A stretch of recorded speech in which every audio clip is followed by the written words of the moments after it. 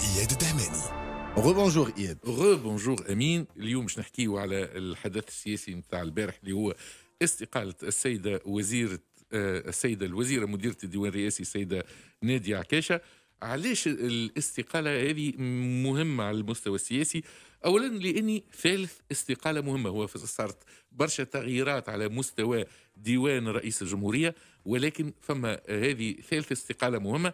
نذكروا إنه كانت قبلها فما استقالة للمستشار الخاص لرئيس الجمهورية السيد عبد الرؤوف بالطبي اللي هو اليوم نلقاوه في آه، حراك آه، ضد الانقلاب. آه، فما استقالة السيدة رشيدة نيفر اللي كانت مسؤولة على الإعلام برئاسة الجمهورية. واليوم فما استقالة السيدة نادية عكاش. أهمية زادة تجي من طبيعة منصب المدير الوزير مدير ديوان رئاسي اللي يمكن برشا ناس ما, ما, يعرفوش لأنه برشا خدمة في الخفاء ولكن المنصب هذايا هو الرجل أو المرأة آه الثانية في القصر هي ال interface. تو حتى كي نحكيو مثلا على ال exemple نتاع السيدة نادية عكاشة هي ال interface نتاع رئيس الجمهورية مع الحكومة مع الدبلوماسيين مع الأطراف السياسية. donc هو منصب مش فقط إداري ولكنه سياسي. أيضا المنصب هذا هو منصب كاتمي أسرار الرئيس لأنه يحضروا في كل لقاءات ويحضروا كل اللقاءات يحضروا في المجالس الوزارية يحضروا في الاجتماعات الأمنية الاجتماعات العسكرية.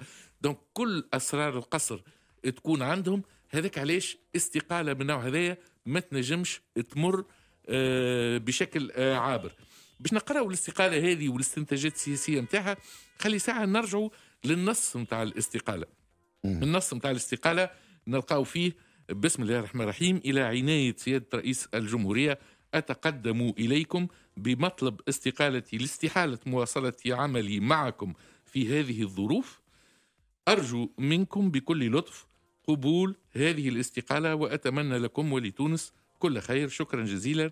نادي عكاشه باهي أجي نبدا ساعه استحالة عملي في هذه الظروف. إيش معناتها ساعه شنو طبيعة عمل الساعة مستشار معناتها مو هي إيه، معناتها أكبر المستشار معناتها شنو يخدم بالضبط؟ وشنو الظروف اللي تنجم تخليه؟ ما عادش ينجم يخدم. معناتها مدير الديوان الرئاسي هو معناتها لو برا دروا هو الذراع الأيمن لرئيس الجمهورية مثلا علاقته بالأمن الرئاسي تمر عبر آه، مدير الديوان الرئاسي علاقته بالحكومة. كل المراسلات يعني المراسلات اللي تجي رئيس الجمهورية ما تطلعلوش ديريكتومون تتعدى لمدير آه آه لمدير الديوان. آه البرمجة نتاع الاجتماعات هو اللي برمج الأجندة نتاع رئيس الجمهورية الجانب الإعلامي. هذايا على المستوى المؤسساتي. ولكن أيضا فما جانب آخر اللي نعرفوا إنه تتصور الاستقالة على المستوى المؤسساتي ولا على المستوى السياسي؟ لا الور هما هنا فما حاجتين مطروحين اللي باش نستنجوم اولا في نص الاستقالة السيدة ناديه عكاشة تحكي في مثل هذه الظروف. هنا معناتها اللي نجموا نستنتجوه إنه آه معناتها برشا يسميوه صراع على النفوذ اللي هي تلقى نفسها في وضعية غير قادرة على إنها تقوم بالمهام نتاعها إنه فما ناس أخرى تتدخل في العمل نتاعها وإلا رئيس الجمهورية ما عادش عنده فيها نفس الثقة اللي كانت قبل تسمح لها باش تقوم بالمهام شوية إحنا هكا شوية؟ معناتها تخديم مخ وشويه معناتها؟ نحاولوا شوية. ذكاء معناتها فما ظروف كانت متوفرة. بالضبط. اليوم ما عادش متوفرة. معناتها هذا بما معناه ما تنجمش تكون حاجة أخرى. معناتها كي واحد يقدم استقالته يقول له في هذه الظروف معناتها كان فما ظروف كانت تخدم فيها. لا ما استقلتش. بالضبط. تو فما ظروف جديدة. يبدو أنه عندها مدة خلتها ما عادش نجم توصل المهام نتاعها. ما الذي طرأ في الظروف الجديدة؟ باش خلاها ما عادش تخدم خدمتها. voilà. هنا نجم ندخلوا كان في التخمينات وما يحكى في المطبخ السياسي في تونس هو إنه فما une آه، rivalité آه، والتنافس بينها ووزير الداخلية الحالي السيد توفيق شرف الدين لازم نذكروا أنه في فترة من الفترات كيف اقترح اسم رئيس حكومة وكان فما توجه أنه يكون من المقربين هل من رئيس عرضت الجمهورية هذه الفكرة؟ كانوا زوز يتنافسوا على المنصب هذايا donc يبدو إنه ال rivalité بدات من غاديكا وما يحكى وما يقال إنه العلاقة بيناتهم ليست على ما يرام وإنه فما تنافس حول شكون اللي يسطر السياسات العامة إلى جانب رئيس الجمهورية ومعناتها نقفل هنا شوي. توا normalement يا أخي مش رئيس الجمهورية هو اللي يسطر السياسات العامة. اي ما يلزم يكون حوله ناس أي مش هما اللي يقرروا لا ولكن هما يأثروا. هو ديما صراع النفوذ في القصور في العالم الكل. هو شكون يأثر أكثر على صاحب القرار؟ أي ما كانش ينجم هو يستفاد منهم الزوز؟ اي ولكن هو آه، نتصوره كان بالعكس آه، يكون هو معناتها يكون هو مستفيد. ولكن كيف يتحول إنه هما ما ينجموش يتفاهموا وقتها يصير آه، مشكل. ما ينجموش يتفاهموا وقتها normalement عرفهم يعيط لهم الزوز ويقولوا ما يريدوا. معناتها normalement هكا يصير. معناتها نبسط فيها قاعدة هذه فرضيه من الفرضيات. أنا تو باش نجيك للنص أنت تعرف أكثر مني إيه باش نجيك للنص الثاني هو باش نرجعوا له اللي هو ال post Facebook اللي عملته السيدة نادية عكاشة اللي أعلنت فيها على الاستقالة بتاعها اللي تقول فيه قررت اليوم تقديم استقالتي للسيد رئيس الجمهورية. كان لي شرف العمل آه، من أجل المصلحه العليا للوطن من موقعي إلى جانب رئيس الجمهورية. لكنني اليوم وأمام وجود اختلافات جوهرية في وجهات النظر. donc هنا معناتها الاختلاف اللي نلقاوه بين النص نتاع الاستقالة اللي دار على الفيسبوك في تفاصيل أكثر ده. اللي لا النص الاستقالة يحكي على ظروف. والنص نتاع statut فيسبوك يحكي على اختلافات جوهرية في وجهات النظر. هنا ولينا نحكيو سياسه مع رئيس الجمهورية اختلافات ولا مع أطراف أخرى؟ ماهوش مهم. معناتها لا مهم. اي إيه. لا. في الأخر القرار اللي ياخذه رئيس الجمهورية خاطر هي معناتها نورمالمون أي شخص في موقعها يصنفوا الناس الأخرى اش تخمم. المهم هل إنه رئيس الجمهورية القرارات اللي ياخذها والتوجهات إحنا نحكيو هنا على التوجهات باه أنا نفهم من هذا إنه الاختلافات مع رئيس الجمهورية ما تنجمش تكون مع مع طرف هنا ما عادش نحكيو على ظروف. فما طرف اخر ما عادش نحكيو على ظروف نحكيو على اختلاف سياسي. نفس السؤال نتاعي نتاع قبيلة اللي بكل بساطة نتاعو راه نجموا اسئله بسيطه راهي تخلينا نفهموا ما هي الظروف؟ هي قالت لهنا وجهات النظر. ولينا نحكيو على ما هي وجهات النظر. الجديدة فعلا. اللي خمم فيها رئيس الجمهورية والتي لا توافقه فيها مديرة الديوان؟ هذا هو كي نحكيو إحنا فما استنتاجات اللي باش نختمها في ساعه باش نجموا نحكيو على الأسئلة. الاستنتاجات هي إنه فما تصدع في الجبهة الداخلية آه، حول رئيس الجمهورية اللي ادت إلى خروج واحدة من أهم المساعدين نتاعو ولكن أيضا فما سؤال شنية الاختلافات السياسية؟ هل إنه فما أشياء تطبخ والسيدة مديرة الديوان هي معترضة عليها؟ وهنا الكلام اللي قالته راهو معناتها ما هيش استقالة عادية. آه، اولا آه، زوز نصوص كانوا شايحين برشا فماش شكر لرئيس الجمهورية والتثمين للفترة كما يلزم. ولكن أيضا فما إشارة لخلافات تتعلق بالمصلحة الفضلى للوطن.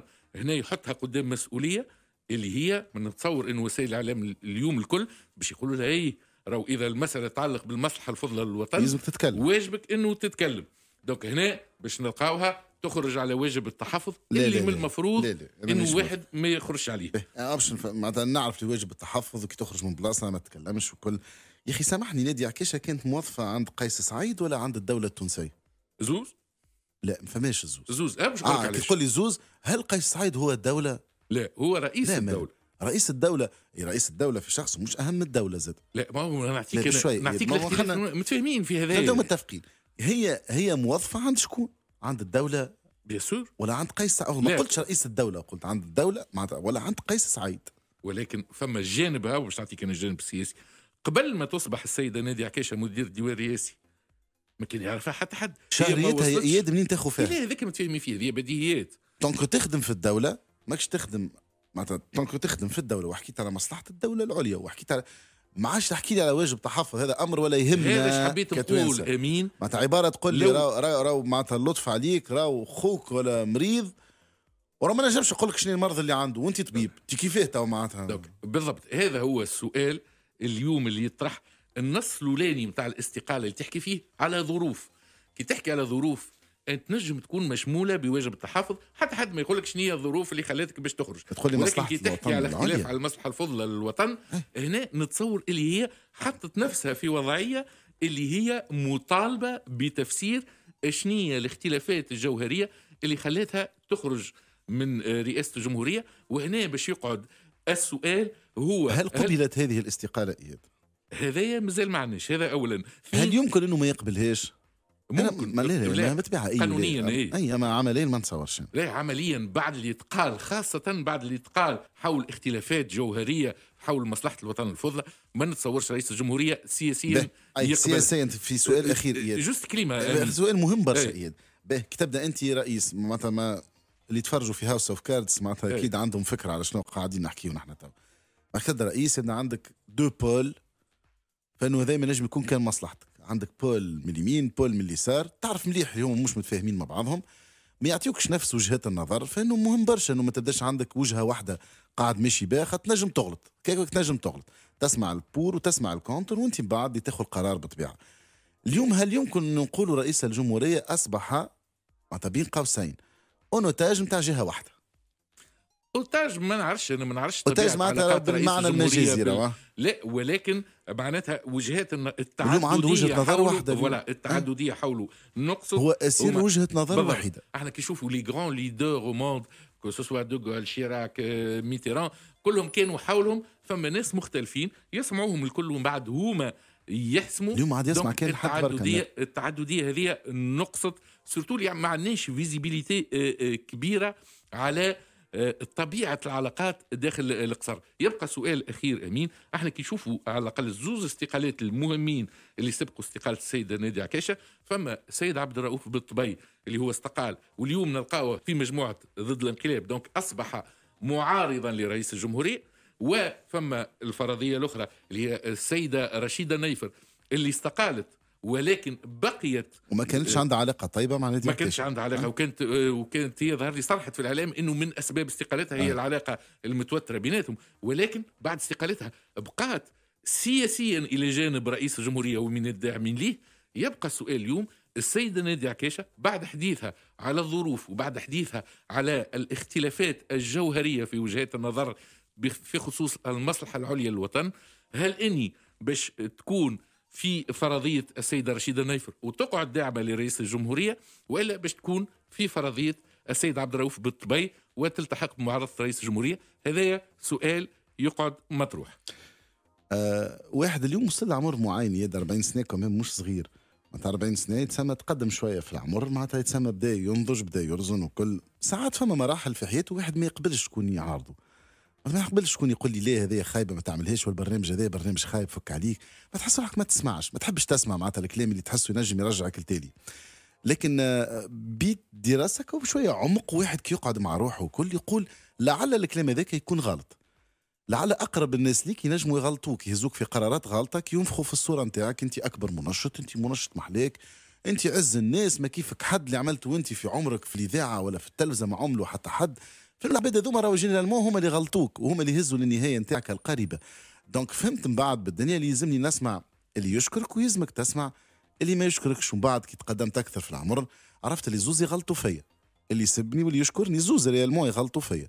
معناتها إنك تسمع العبد المتوازن وإنه كل ما تكون أكثر آراء دايرة بيك كل ما تنجم تنجح أكثر في خدمتك. جوست حكيت الحكاية هذيا باش تكون عبرة اللي يهمه الأمر. يعطيك صحه إياد. بارك الله فيك.